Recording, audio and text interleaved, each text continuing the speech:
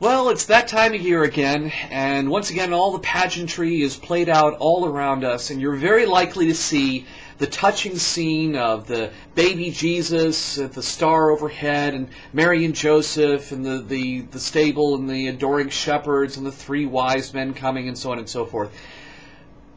And I, I remember one quote from Jack Chick. Um, I'm a big fan of his goofy comics. Um, who once wrote, he looked like a baby, but he was God. And as funny as that quote is, it actually is true according to the Trinitarian Christian point of view.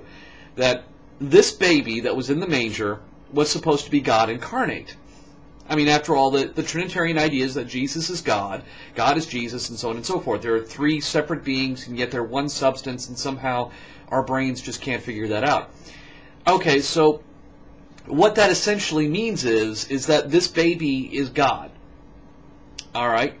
So some questions that I have for Christians then. How does that work exactly? Uh, did Mary and Joseph have to get up in the middle of the night for God's nightly feedings? Did Mary and Joseph have to potty train God and have to change God's diapers? Did uh, Mary and Joseph uh, were they around when God spoke His first words? Uh, did God learn to crawl and then learn to walk the same way that other babies do?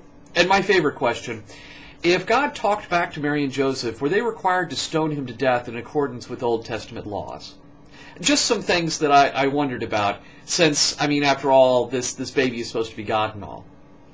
And really, it's no wonder that Christians just kind of want to gloss over that, fast forward to when he's 12 years old and teaching at the temple, this really does beg some rather interesting questions. So if any Christians could answer some of those questions, I'd really appreciate that.